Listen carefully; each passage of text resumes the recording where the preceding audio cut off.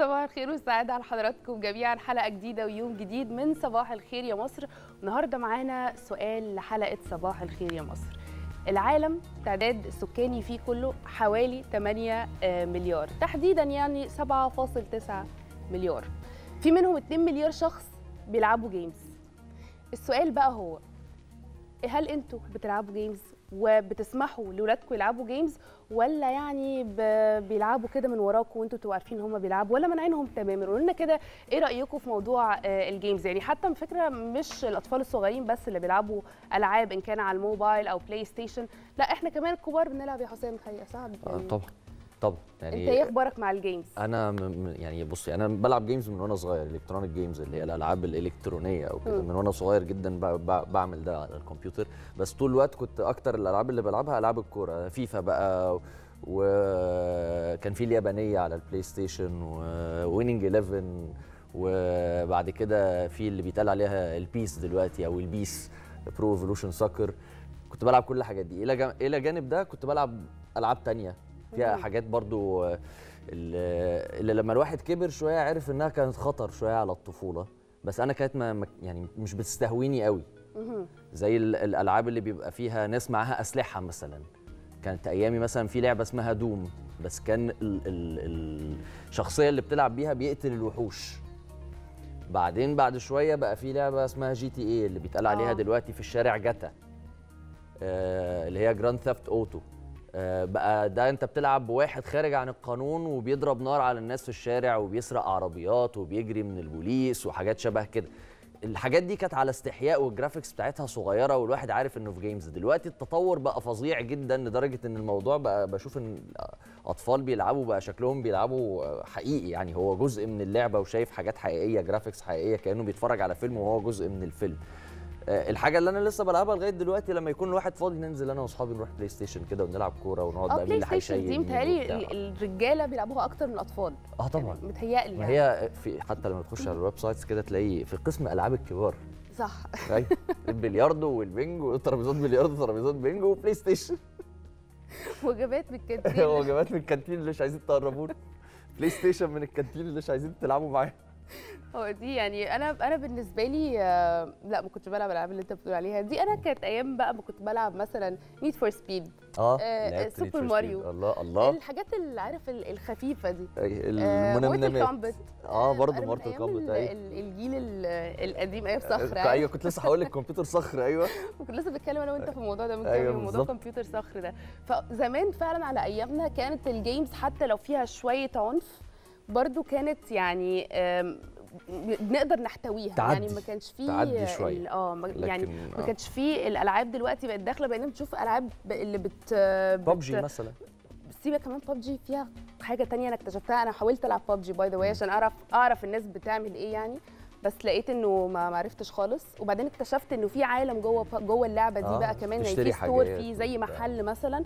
طبعا محل آه، افتراضي يعني أو إلكتروني تدخل تختار اللبس وتختار الأسلحة وتختار كل حاجة. وبرقم يعني برقم كبير مش رقم بسيط آه يعني. بفلوس لا بفلوس. وفي وفي games تانية فيها آه، شخصيات يعني محمد رمضان مثلا في لعبة نزل وعمل شخصية وبتشتري شخصية محمد آه. رمضان وبتدفع فلوس للعبة عشان تلعب بمحمد رمضان وتجيب اللبس بتاع محمد رمضان ولو عايز تلبسه الفرو بتاع محمد رمضان أو السلسلة بتاعت محمد رمضان نضارة محمد رمضان وتبقى عبد موتة وتنزل وبقى وتشيل الحاجات وتعمل نوش في المنطقة. لا شفت الإعلانات الصراحة. شفت الإعلانات. أنا أنا حاولت ألعب ببجي حاولت ألعب ببجي بصراحة ما يعني ما استهوتنيش خالص. مع يعني مش عشان هي لعبة حلوة ولا وحشة يعني أنا مش بحكم على حد. يعني أنا في, في- في وقت كده كنت أنا مثلا في, في إعدادي أو ثانوي كانت في لعبة انتشرت جدا كان الناس بتنزل net cafe آه، اللي هو بيتقال عليه برضو السايبر. آه.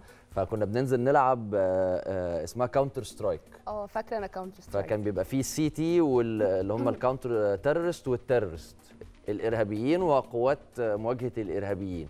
وبتختار الخريطة اللي انت بتلعب فيها. دي كنا بنلعبها الصراحة. وكان فيها ضرب برضو وبتحرر الرهائن وما أعرفش إيه و... بس في الآخر برضو في عنف. في عنف. بس هقول لك على حاجة. برضو كان إلى حد ما الموضوع كان مقبول.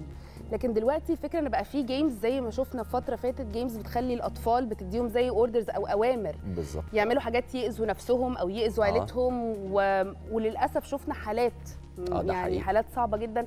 يعني أدت لمأساويات كانت صعبة جدا. شفنا مش عايزة أقول أذكر حتى الحوت أسامي الأزرق مثلا ال- اللي آه طلع يعني أنا بس ما كنتش حابة أذكر اسم اللعبة عشان في ناس الممنوع مرغوب تحب تدخل تدور وفي في نقطة وت- كمان انت فكرتيني بحاجة مهمة يا جمان إحنا بنتكلم على فكرة إن مثلا أحيانا بيكون في حاجات في فيلم أو في معرفش إيه خارج عن قيمنا.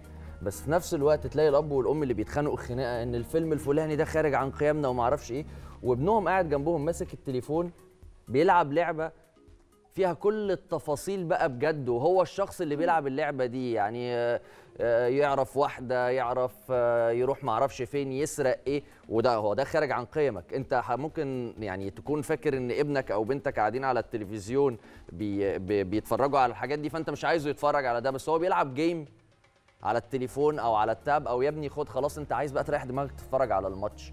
أو الأم عايزة بقى تريح دماغها بعد يوم الشغل فخد يا حبيبي التليفون. امسك التليفون وعيش حياتك. وأنت مش ظابط بقى الحاجات بتاعت الأطفال وابنك بقى يفتح اليوتيوب وبنتك تفتح اليوتيوب ويفضلوا يتفرجوا على فيديوهات. ممكن ما تكونش المحتوى بتاعها يناسب الفئة العمرية حتى في الدول اللي أنت شايف إنها ممكن تكون منحلة مع إن الأخلاقيات دي نسبية.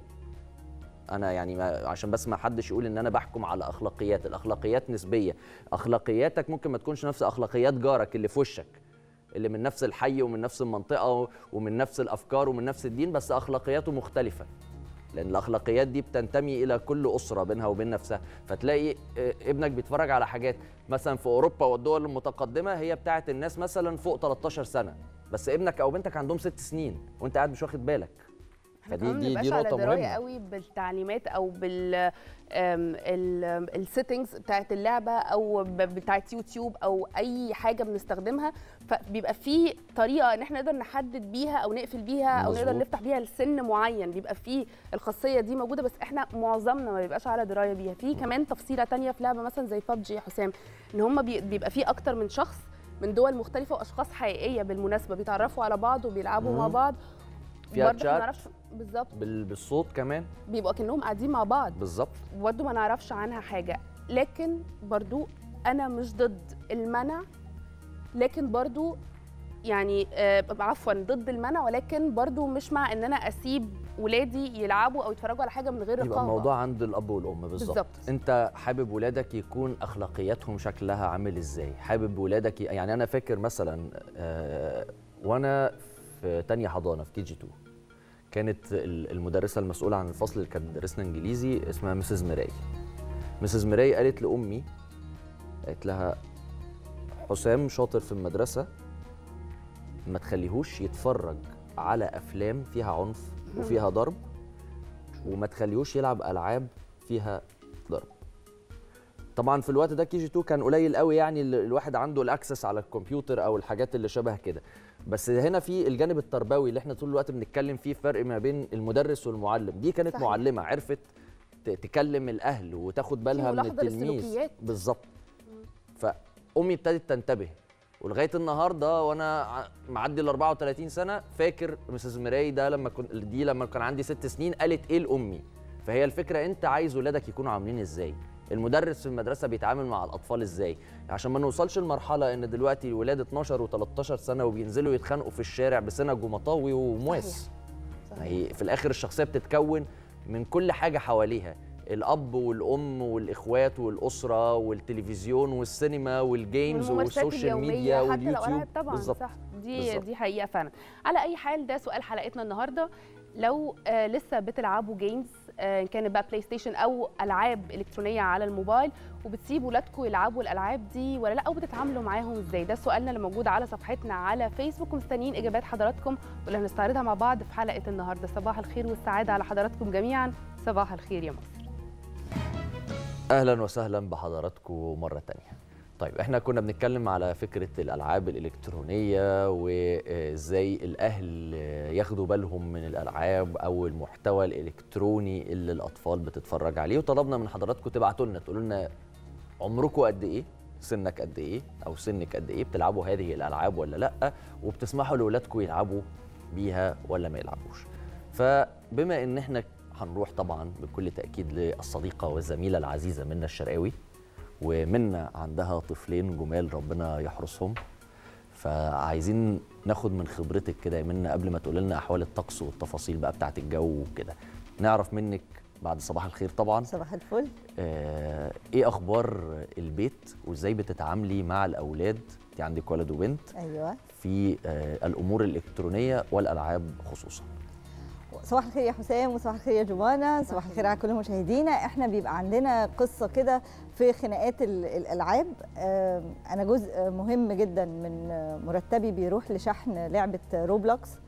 أيوه أنا سمعت عنها. كتير لا لا Roblox أنا. سمعتش عنها أنا خالص سمعت عنها كتير قوي. آه، وإحنا بنلعب عندنا Call of Duty وبنلعب Fortnite يعني عندنا ألعاب الألعاب اللي بنبقى مهتمين بيها. الفئة العمرية بتاعتهم بتختلف. البنوتة الصغيرة بتحاول تقلد أخوها فبتحاول تلعب. الألعاب الجرافيكس يا حسام أنت بتبقى حاسس إن أنت جوه اللعبة. يعني أنا ببقى. قاعدة جنبهم. الانفعالات بتخضني. يعني إنهم بينفعلوا جدا. والصورة كويسة قوي والأصوات كويسة قوي والشات بيبقى مفتوح هو وأصحابهم فأنا ببقى حاسة ان إن إحنا كلنا قاعدين في نفس المكان سواء هو ولادي قاعدين مع أصحابهم أو أصحابهم قاعدين معانا. يعني أنا ببقى قاعدة لو ما أناش قاعدة معاهم وقاعدة في أوضتي مثلا وسامعاهم أنا ببقى سامعة كأنهم قاعدين معايا. ببقى هو أنا عندي حد في البيت ولا في ولا إيه الحكاية؟ مش هنقدر نمنع لكن آه، نقدر نبقى متواجدين. مش هنقدر نقول نحدد وقت لازم نبقى متواجدين بشكل أو بآخر وندعي ربنا. ما عندناش ما عندناش حلول تانية لأن مش هينفع ال- الأطفال تبقى يعني بره السياق اللي موجود في كل مكان في العالم. وخلاص إحنا بقينا عارفين إن الناس كلها بقت connected أو بقت يعني متوصلة ببعض عن طريق الإنترنت وعن طريق الحاجات اللي هي الشباب والأطفال بيستخدموها. فخلاص ما بقاش في مجال للمنع لكن في مجال إن إحنا نتكلم ونفلتر ونتفق إن إحنا دي عنفها زيادة لأ دي دمها تقيل لا دي مش مناسبة لا دي أختك الصغيرة مش هتبقى قادرة تتابعها ممكن تسبب لها كوابيس لأن فعلا بيبقى فيه يعني عنف كتير في كتير من الألعاب. بنرحب بحضراتكم من جديد. رجعنا لكم لسه مكملين معاكم فقرات صباح الخير يا مصر. مستمرة مع حضراتكم لغاية الساعة 10 صباحا. سؤال حلقتنا النهارده كان عن الألعاب الإلكترونية. هل لسه بتلعبوها لحد دلوقتي؟ وللي عنده أولاد بتسمحوا لأولادكم يلعبوها ولا لا؟ جات لنا بعض الإجابات في آه، إسلام مجدي بيقول صباح الخير عليكم وعلى مصر كلها. صباح الخير عليك يا إسلام. بيقول إنه الألعاب كلها سيئة جدا لأنهم بيلعبوا مع ناس أكبر من سنهم وبيقولوا ألفاظ خارجة وطبعا لو طفل بيلعب بيتعلم الألفاظ دي ويا ريت يلغوا الألعاب دي نهائي. في مصري حر بيقول أصبح اللعب إدمان بس يمكن أفضل ما يخرج للشارع. دي بعض من الإجابات. في إجابات تانية زي إسلام مجدي قال صباح الخير عليكم وعلى مصر كلها. الألعاب سيئة جدا لأنهم بيلعبوا مع ناس أكبر من سنهم وبيقولوا شتايم وألفاظ خارجة. وطبعا لو الطفل بيلعب بيتعلم الألفاظ دي ويا ريت يلغوا الألعاب دي نهائيا. في أيضا حمدي مصطفى بيقول صباح الخير. برنامج بلدي صباح الخير والإزدهار يا مصر. بس أنا شايف إن الكبار بيتقاسموا هذا الرقم مع الصغار. الرقم اللي كنا قلناه لحضراتكم اللي هو 2 مليار لاعب أو 2 مليار شخص بيلعبوا هذه الألعاب الإلكترونية. مركز معلومات مجلس آه، الوزراء عمل آه، تقرير معلوماتي عن هذه الألعاب الإلكترونية ومراحل تطور الألعاب دي وعدد اللعيبة على مستوى العالم وأيضا إيرادات الألعاب الإلكترونية ومخاطرها والإجراءات اللي بتتبناها الدول لمواجهة خطر إدمان هذه الألعاب. والحقيقة إن قراية التقرير وضحت الكثير من المعلومات اللي ممكن البعض يشوف إنها معلومات خطيرة. يعني مثلا في أكثر من 2 مليار شخص في عام 2020 مارسوا هذه الألعاب على مستوى العالم ومن المتوقع إن العدد هيزيد في سنة 2023 لأكثر من 3 مليار شخص. أرقام ضخمة جدا جدا.